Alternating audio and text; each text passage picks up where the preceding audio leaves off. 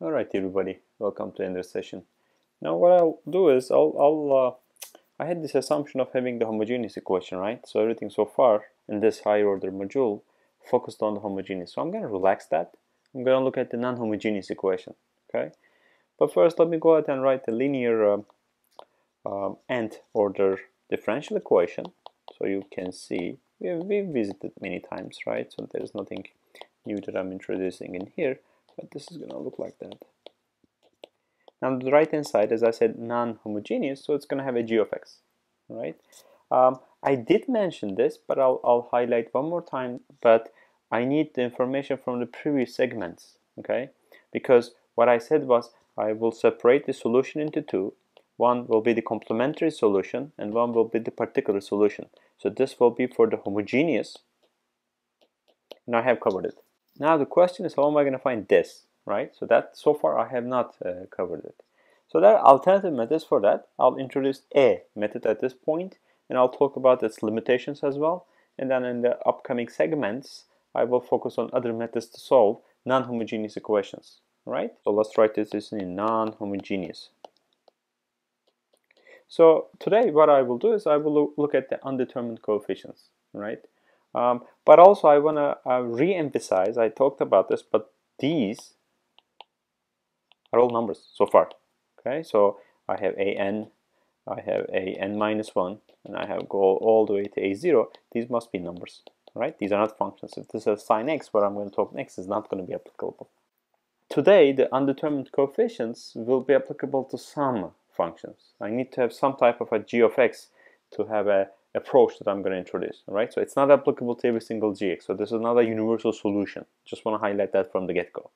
And I will, uh, you know, make like a table for you. Let's say that I have a g of x over here, and let's have a yp, which is the particular solution over here.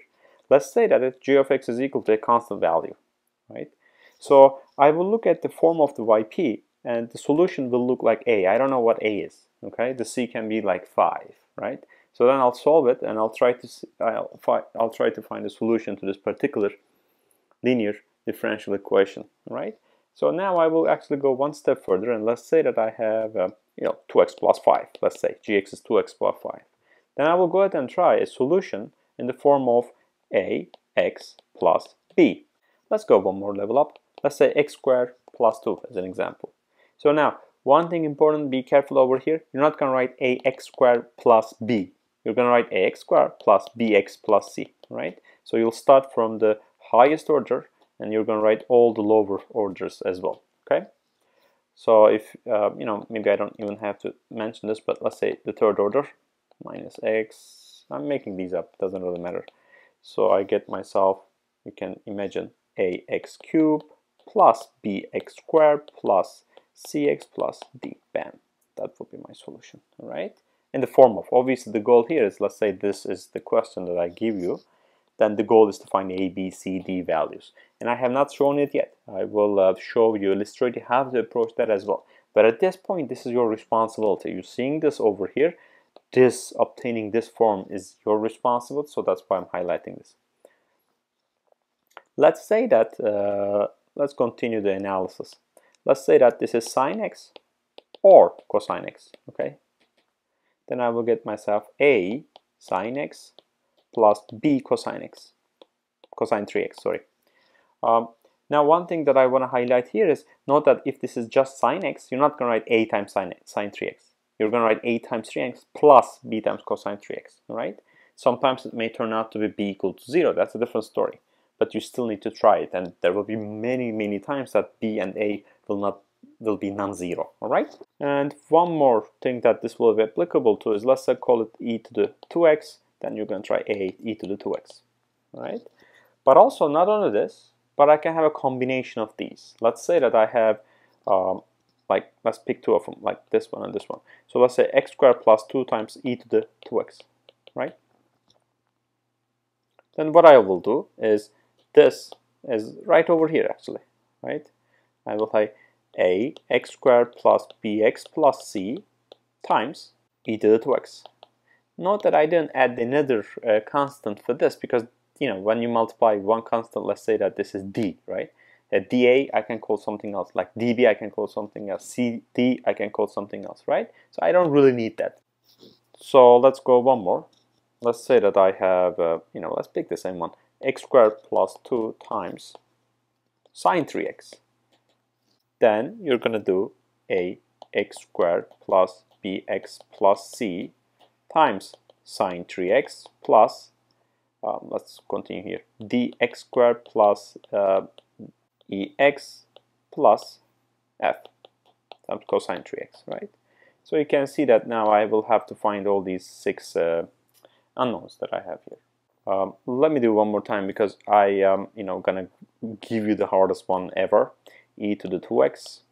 Let's use the same one, x squared 2 sine 3x, right? So then what the formula is gonna look like? It will look like this, ax squared plus bx plus c.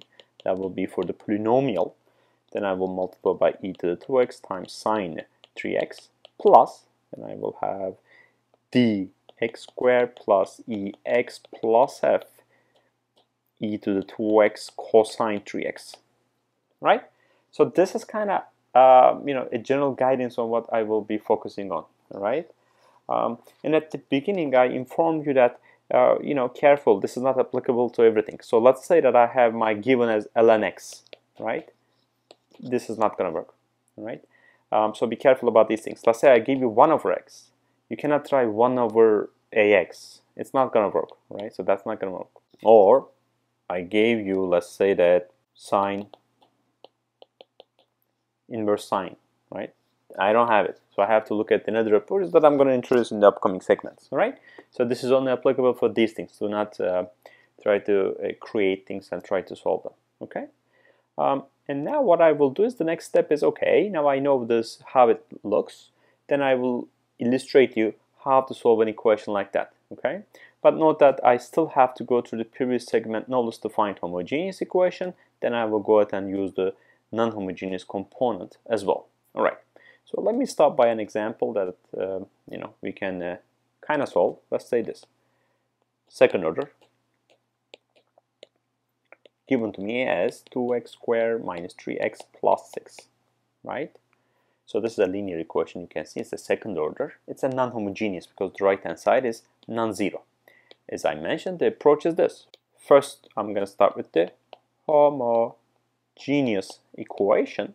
So basically y double prime plus 4y prime minus 2y is equal to 0, right? So if I use the ancillary form from the previous segment, you will see that 4m minus 2 is equal to 0.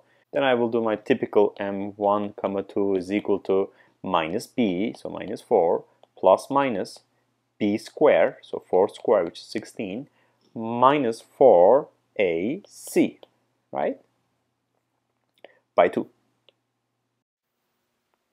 Okay, so that will be, this will be um, square root of 24, so that is uh, 2 square root of 6. So if I write this, you will find that I will get m1 comma 2 will be minus 2 plus minus square root of 6. Okay. And then if I do my typical analogy from the previous segment, you will see that I will get c1 e to the minus 2 plus square root of 6x plus c2 e to the power of, my, let's do minus parentheses, so it's 2 plus square root of 6x.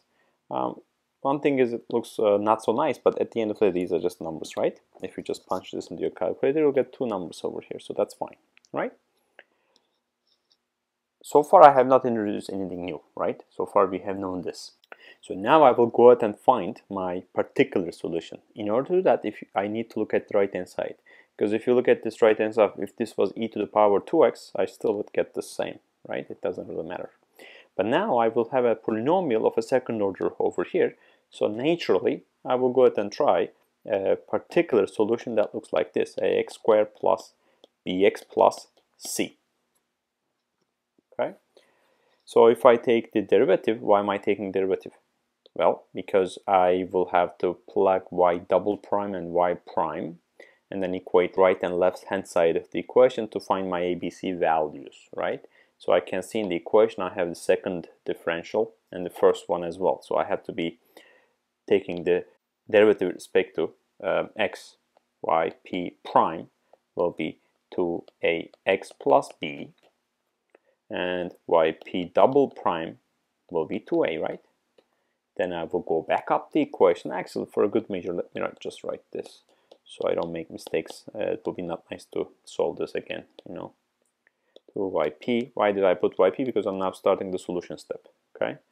Let's do insert it over here. So it's going to be 2a, right? So simply from here, right? So I just plug over here. Then plus 4 times of 2ax plus b minus 2 times ax squared plus bx plus c, right? Okay. And this will be equal to the original right-hand side of the question that is given to me. This 2x squared minus 3x plus 6. Okay, I memorized it, I think. 2x squared minus 3x plus 6. The rest of the procedure is extremely similar to what you've been doing since high school, right? So if I have, um, you know, uh, let's say a polynomial, right? You want to equate whatever in front of um, like x squared. You want to equate that whatever that needs to be 2 over here, 2x squared. And this minus 3x over here and plus 6 for you. I'm equating right and left hand side of the equation, so nothing real that difficult, except I made some mistakes over here, right? So, but let's get going. So I'm going to take x squared parentheses. So when I look at that, look at this. This is the only one that has a um, uh, x squared, so it's going to be minus 2a. Okay, plus, let's do the x parentheses. So you can see here, I, I get an actually let me just mark that off so I don't have to worry about it. Um, 8a over here right? And what else do I see? Minus 2b I'll show you this one right? Minus 2b and do I see any other x? No I really do not. Plus let's look at the constants so I'm left with 2a plus 4b minus 2c is equal to right hand side which is 2x squared minus 3x plus 6 now again let me repeat myself. X squared so then this needs to be 2 right? This needs to be minus 3 right? This needs to be 6 then so you can see I get myself a nice situation where I'm trying to find three equations and three unknowns and it actually it's not too bad of a three equation three unknown because there can be some cases where it's very complicated to solve three equations three unknowns this isn't one of them right so you can see from the very first equation that I will get myself a is equal to minus 1. So that's good. Okay. Once I know my a, I'll look at the second equation. So 8 times a will be minus 8. Minus 2b is equal to minus 3. So you can see from here b will be equal to, well, let's be careful, 8, 5 minus 5 by 2, right? 2 and a half. And then once I have it, then I will have 2 times a, which is minus 2, 4 times b, which means uh, minus 10, right? Minus 2c, is equal to 6. So you can see here 2, 10, if I move it to the other side, 18 c minus 9, right? I got myself c is equal to minus 9 from here. Okay, then let's look what I started with. I was um, investigating this, and now I know a, y, b, a, b, and c. Then I have my yp is equal to minus x squared minus 5 by 2x minus 9. So this is yp. But remember, the goal is to find the, the, the, solution, the general solution, that will be composed of the complementary solution, the particular solution. Um, if I go back and see my complementary solution was, hopefully I'm not going to make a mistake here, uh, minus 2 plus square root of 6x plus c2e to the minus 2 plus square root of 6x so minus x squared minus uh, let's call it 2.5x minus 9 so that's gonna do it for this particular question. You can see that this will be my solution. So I have myself uh, a complementary solution. I have myself a particular solution. I sum them up. So what about this C1 and C2 values then? I need to have initial conditions, right, to solve it. So that, that is uh, beyond the scope for this particular question. So that information needs to be supplied to me. Okay? All right. Thank you for watching this segment. I'll, I'll come back with another example for you. Thanks.